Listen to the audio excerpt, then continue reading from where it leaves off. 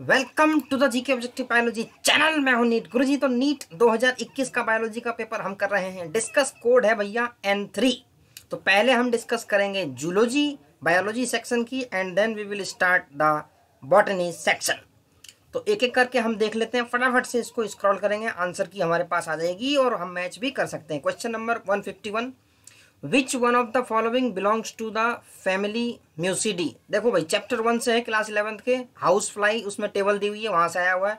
ठीक है जी correct answer हो गया आपका ऑप्शन नंबर थ्री आगे चलिए match list one with list two तो इसमें चार ऑप्शंस दिए हुए हैं। तो जब हम देखेंगे एनसीईआरटी का डायरेक्ट क्वेश्चन तो वॉल्ट्स के लिए क्या है भाई? Entry of sperm through cervix is blocked vaults का तो ये काम है आईयूडीज क्या करेगा? एक चीज़ देखेंगे इस बार पेपर में कि मैचिंग टाइप में अगर आपको एक पता है, आंसर आ गया। जैसे कि ऑप्शन नंबर ए ए का अगर आपको पता है कि वॉल्ट्स देखो ए का वन ठीक है? एक ही ऑप्शन में दिया हुआ है। तो इस तरीके से इस बार जितने भी मैचिंग टाइप है, बहुत सिंपल में थे। और जैसे ही अगर आपको एक का भी पता है तो आंसर निकल गया।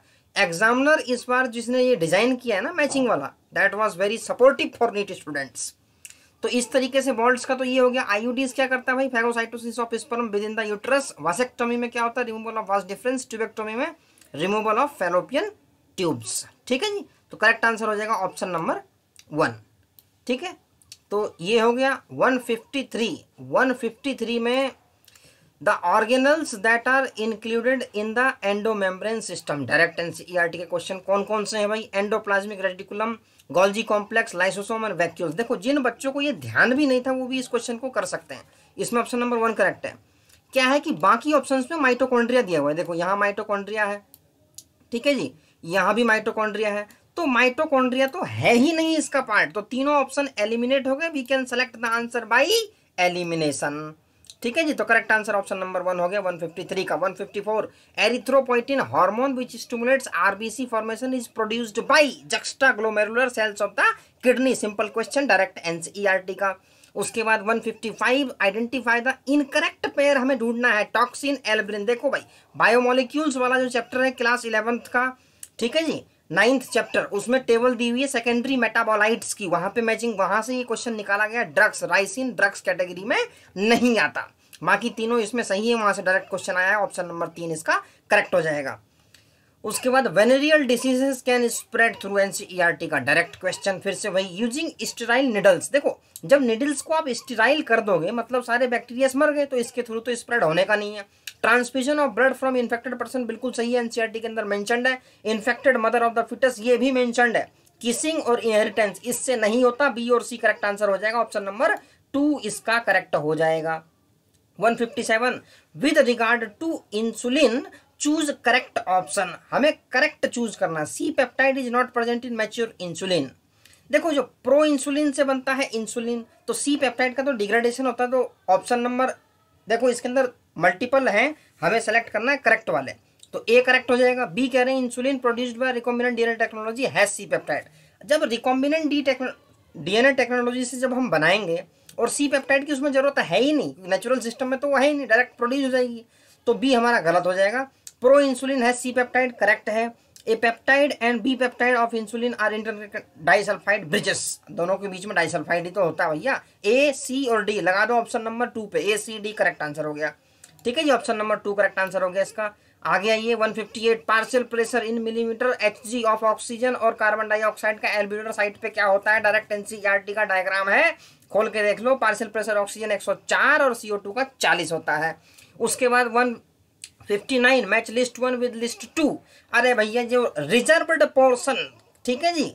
क्लास ट्वेल्थ का chapter number ten, microbes in human welfare, Aspergillus niger क्या बनाता है? That is citric acid Acetobacter aceti acetic acid Clostridium butylicum butylic acid and Lactobacillus is for lactic acid correct answer is option number four बहुत simple simple अब biology easy थी भैया chemistry भी moderate थी, लेकिन फिजिक्स इस बार की थोड़ी सी झटके देने वाली थी। तो match list one with list two ठीक है जी? मेटामेरिज्म कहाँ मिलती है? एनिलिडा में। ए का थ्री ए का थ्री कितने ऑप्शन में? दो में आंसर नहीं निकला। कैनाल सिस्टम कहाँ होता है? पूरी फेरा में। बी का फोर अभी भी आंसर नहीं निकला। सी कॉम्ब प्लेट्स कहाँ होती है भाई? कॉम्ब प्लेट्स तीनों फोरा के अंदर होती है, ठीक है जी? तो सी का सेकंड सी का सेकंड देखो, ये करेक्ट आंसर निकल गया। ऑप्शन नंबर टू निकल गया। उसके बाद नाइडो ब्लास्ट आपका कहाँ है? सिलेंड्रेटा के अंदर। 161 डायरेक्ट उठाया हुआ question succus entericus is referred to as intestinal juice बहुत बच्चे इसके अंदर गैस्ट्रिक जूस से भी कंफ्यूज हो रहे थे, लेकिन करेक्ट आंसर क्या है भाई? Intestinal juice is the correct answer for succus entericus 162 के अंदर आइए select the favourable conditions required for the formation of oxyhaemoglobin at the alveoli oxyhaemoglobin कब बनेगा? जब हाई ऑक्सीजन होगी लो पीयूस कार्बन डाइऑक्साइड होगी लेस एच पॉजिटिव होगा लोअर टेम्परेचर होगा ऑप्शन नंबर चार में दिया हुआ है करेक्ट आंसर हमारा हो जाएगा भाई option number four 163 which enzyme is responsible for conversion of inactive fibrinogen to fibrins? देखो रेनिन और rennin R E single N R E double N तो डबल एन डाइजेस्टिव का है सिंगल एन किडनी फ़ंक्शंस में है, ठीक है जी? Epinephrine नहीं थ्रोम्बोकाइनेज एक ही एंजाइम है। तो थ्रोम्बोकाइनेज की हेल्प से जो है फाइब्रिनोजन फाइब्रिन में कन्वर्ट हो जाएगा। ऑप्शन नंबर तीन करेक्ट हो गया। 164 which of the following is not an objective of biofortification in crops? देखो biofortification का सिंपल मीनिंग ये है कि भाई न्यूट्रिशन की इनहेंसमेंट जब न्यूट्रिशन बढ़ाओगे तो विटामिन बढ़ेगा ठीक है जी? माइक्रो न्यूट्रिएंट भी बढ़ेगा मिनरल भी बढ़ेगा प्रोटीन भी बढ़ेगा लेकिन रेसिस्टेंस टू डिसीज का कोई मतलब है नहीं बायोफोर्टिफिकेशन में। पूछा क्या है? नॉट एन ऑब्जेक्टिव तो correct answer option number one हो गया। 165 receptors for sperm binding in mammals are present in देखो एनसीईआरटी से थोड़ा सा ऊपर लेवल है इसका, क्योंकि डायरेक्ट मेंशन नहीं है, लेकिन जोना पेलुसिडा मेंशन है कि स्पर्म वहाँ जाके बाइंड करता है तो correct answer option number three हो जाएगा, जोना पिलुसिडा 166 ये कह रहे हैं fruit fly has eight chromosomes two N two N number आठ क्रोमोसोम का इसके अंदर है during interphase of mitosis the number of chromosome आठ है अगर मान के चलो जीवन फ़ेज़ में what would be the number of chromosome after S phase S phase के बाद क्या होगा? ठीक है जी? तो एस फ़ेज़ में क्या हो जाती है? सिंथेसिस ऑफ़ द डीएनए तो वहाँ पे सोलह हो जाएँगे उसके अंदर। तो आठ का डबल कितना हो गया भाई? सोलह। तो आफ्टर एस फ़ेज़ कितना हो जाएगा? सोलह। ठीक है जी? Question number 167 which stage of meiotic prophase source terminalisation of chiasmata अब डायकाइनेसिस जब आप पढ़ोगे तो वहाँ लिखा हुआ क्लियर कट एनसीईआरटी का भाई डायकाइनेसिस में टर्मिनलाइजेशन ऑफ़ द कायस्माटा होता है। ठीक है जी? तो करेक्ट आंसर हो गया आपका option number two 168 person with A B blood group are called as universal recipient क्यों बोलते हैं? बिकॉज़ ऑफ़ इसमें एंटीजन तो दोनों होते हैं, लेकिन भैया इसमें एंटीबॉडी कोई सी नहीं होती, उल्टा होता है। अगर दोनों एंटीजन होंगे तो एंटीबॉडी कोई सी नहीं होगी करेक्ट आंसर इसका ऑप्शन नंबर तीसरा चला गया। आगे आइए स्पिंक्टर ऑफ़ ओडाई एक डायग्राम दिया हुआ है डाइजेस्टिव सिस्टम में क्लास इलेवंथ एनसीआरटी में। तो स्पिंक्टर ऑफ़ ओडाई कहाँ होता है? Junction of hepatopancreatic duct and duodenum के बीच में होता है। ठीक है जी क्लियर है? उसके बाद which one of the following is an example of hormone releasing IUDs L N G twenty भैया L N G twenty is hormone releasing IUD ठीक है जी?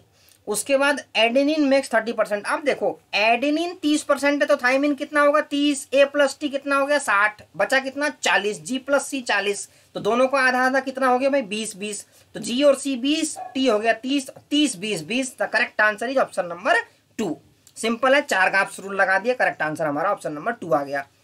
One seventy two which one of the following organism bears hollow and pneumatic bones देखो भाई abs जो होते हैं birds जो होते हैं, उनके केस में बॉन्स क्या होती हैं? हल्की होती हैं, तभी तो वो फ्लाई कर पाएँगे ना, अगर भारी हो जाएँगे, उनके पास स्पेशल एडेप्टेशन है ये। तो नियोफ्रॉन क्या है कि एनसीईआरटी के अंदर से इस बार तुम्हें साइंटिफिक नेम दे दिया, ये बर्ड्स का नाम है। ठीक है जी? I think it is vulture Neophron तो एक बार इसको चेक करना ज़रूर। चैप्टर नंबर फोर में है क्लास इलेवन के क्लियर मेंशन है वहाँ पे। साइंटिफिक नाम से करेक्टरिस्टिक पूछा हुआ है, थोड़ा सा, ज़रूर, थोड़ा सा टफ क्वेश्चन कह सकते हैं। Which is the only enzyme that has capability to catalyze initiation, elongation, and termination. In the process of transcription in prokaryotes के अंदर, एक ही है भैया, वो डीएनए डिपेंडेंट आरएनए पॉलीमरेज जो सब करेगा, तीनों स्टेप को करेगा ऑप्शन नंबर वन करेक्ट हो गया। उसके बाद कह रहे हैं during the process of gene amplification using PCR if very high temperature is not maintained in the beginning then जब वेरी हाई टेम्परेचर नहीं करोगे तो डीनेचुरेशन तो होगी ही नहीं। करेक्ट आंसर दूसरा हो गया। उसके बाद देखो भाई फाइसीले को क्या बोलते हैं? 175 है, इसको पोर्तुगीज मैन ऑफ़ वार बोलते हैं।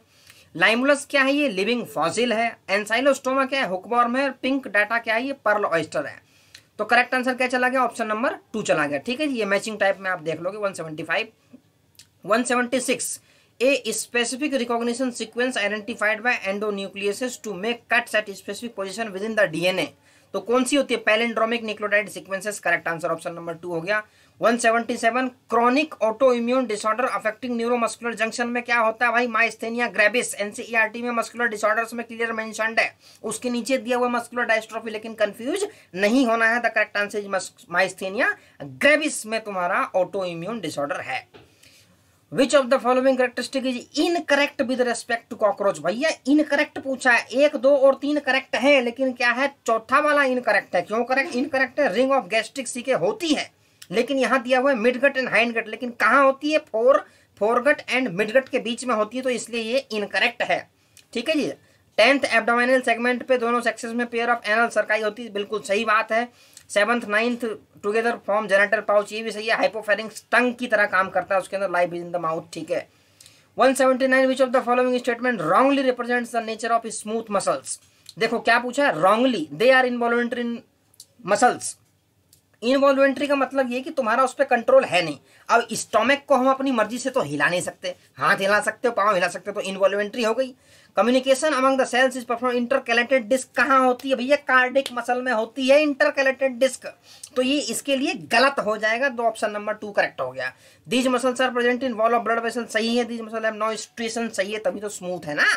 180 which of the following RNA is not required for synthesis of protein देखो टी चाहिए आर चाहिए एम चाहिए, ऐसा ही नहीं चाहिए। तो उसके बाद आ जाओ डॉप्सन यूनिट में क्या नापते हैं भैया? ओजोन की थिकनेस नापते हैं, आगे चलिए।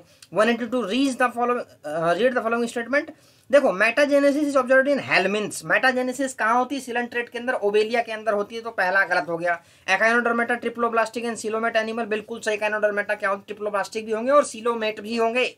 Round worms have organ system level of body organisation correct है। Comb plate present in ctenophore होती तो है, लेकिन डाइजेशन में नहीं है, लोकोमोशन में हेल्प करते हैं। ठीक है, देखो कितना डीप से क्वेश्चन निकाला गया है। Water vascular system is characteristic echinoderm बिल्कुल है। एकाइनोडर्मेटा का ए से लेकर जेड तक उसकी ज़िंदगी ही वाटर वेस्कुलर सिस्टम से चलती है तो करेक्ट आंसर हो जाएगा बी सी एंड ई तो B C E option number तीन में है, करेक्ट हो गया। 183 पे आइए for effective treatment of disease early diagnosis and understanding its pathophysiology is very important बिल्कुल डायरेक्ट एनसीआरटी में मेंशन है भैया एलाइजा टेक्निक से हम अर्ली स्टेज पे डिसीज की डायग्नोसिस करते हैं। करेक्ट आंसर एलाइजा टेक्निक्स हो गई। 184 इन ए क्रॉस देखो क्रॉस किया गया है बिटवीन मेल एंड फीमेल बहुत हिट्रोजाइगस फॉर सिकल सेल देखो H B S H B H B S H B ठीक है जी? दोनों हिट्रोजाइगस है जब क्रॉस कराओगे तो H B S H B S ये क्या है ऑटोसोमल रेसिसिव ट्रेट है तो 25 परसेंट अफेक्ट होंगे। Correct answer option number two हो जाएगा। 25 percent of the individuals will be affected question number 85 आओ। Centriole undergoes duplication during centriole कहाँ जाता है भैया? एस फेस में जाता है, जहाँ डीएनए की सिंथेसिस होगी। उसके साथ ही सेंट्रियोल का डुप्लीकेशन होगा, ये ध्यान रख लेना। 186 which of this is not an important component of the initiation of parturition in humans देखो, जो तुम्हारा ये कहा गया है पार्चुरेशन के लिए। सिंथेसिस ऑफ़ प्रोस्टाग्लैंडिन बिल्कुल ज़रूरी है रिलीज़ ऑफ़ ऑक्सीटोसिन बिल्कुल ज़रूरी है, लेकिन प्रोलैक्टिन की कोई ज़रूरत नहीं है वहाँ पे। Increase in oestrogen to progesterone ratio बिल्कुल इंक्रीज होता है। तो रिलीज़ ऑफ़ प्रोलैक्टिन ये क्या होता है तुम्हारा? मिल्क के सिक्रीशन में काम आता है, ठीक है जी? मिल्क के फॉर्मेशन में काम आता है तो करेक्ट आंसर इसमें ऑप्शन नंबर तीन हो जाएगा। नॉट एन इंपॉर्टेंट पूछा है। उसके बाद 87 codon A U G codes for methionine and phenyl देखो भाई ए यू जी जो है इनिशिएटर कोडोन है मैथियोनिन के लिए कोड करता है, लेकिन फिनाइल एलेनिन के लिए कोड नहीं करता है। तो करेक्ट आंसर इसमें हो जाएगा। पहला तो गलत हो गया। ए A N A A ji table अगर याद है, थोड़ा सा डिफ़िकल्ट क्वेश्चन कह सकते हो बायोलॉजी का। बहुत कोड फॉर लाइसिन के लिए करते हैं भाई दोनों। टेबल को अगर याद है तो पहला करेक्ट दूसरा इनकरेक्ट ठीक है? ऑप्शन नंबर तीन करेक्ट हो जाएगा। 188 which one of the following statement about the histones is wrong? pH of the histones is slightly acidic अरे भैया, जब इसमें अमीनो एसिड्स बेसिक हैं तो pH एसिडिक कहाँ से हो जाएगा? पहला ही गलत है। ठीक है जी histones are rich in lysine arginine कैसे अमीनो एसिड्स हैं? Positively charge basic amino acids histones carry positive charge बिल्कुल होता है। हिस्टोन्स ऑक्टामर बनाते हैं, बिल्कुल सही है तो पहला गलत हो जाएगा। 188 identify the type of cell junctions that help to stop the leakage किसमें? टाइट जंक्शन में। और गैप जंक्शन में क्या है? Leakage of substance across the tissue and facilitation of communication with neighbouring cells by rapid transfer ion तो tight junction और gap junction ठीक है 189 का। आगे आइए question number 190 following are the statement with reference to lipids के बारे में कहा गया है।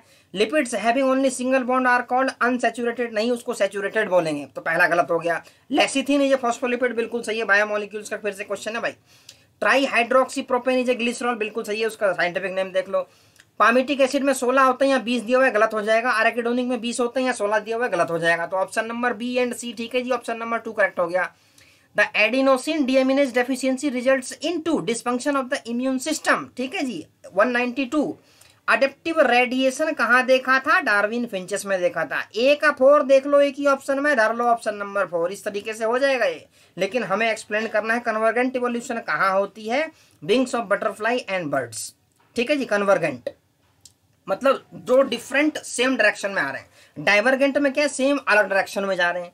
तो ठीक है डाइवर्गेंट कहाँ होगी? Bones of forelimbs in man and whale तो उसके बाद कह रहे हैं भाई एंथ्रोपोजेनिक एक्शन कहाँ होता है? इवोल्यूशन तो ये selection of resistant varieties due to excessive use of herbicides pesticides ठीक है जी करेक्ट आंसर फोर हो गया. उसके बाद 193 में कह रहे हैं match list one with list two ठीक है फिलारियसिस अगर तुम्हें पता है बुचेरिया बेनक्रॉफ्टी से होता है ए का थ्री अगर तुम्हें पता है तो एक ही ऑप्शन में ऑप्शन नंबर वन को धर लो. एमीबियसिस किससे होती है? एंटमीबा हिस्टोलाइटिका से होती है। उसके बाद निमोनिया क्या होता है? भाई हीमोफाइलस इन्फ्लुएंजी होती है। रिंग बॉर्न किससे होती है? ट्राइकोफाइटोन से होती है। तो करेक्ट आंसर इसका ऑप्शन नंबर वन आ जाएगा। 194 following are the statement about prostomium of the earthworm prostomium क्या होता है? कवरिंग ऑफ़ माउथ होता है करेक्ट है। It helps to open the cracks in soil when which in crawl बिल्कुल करेक्ट है।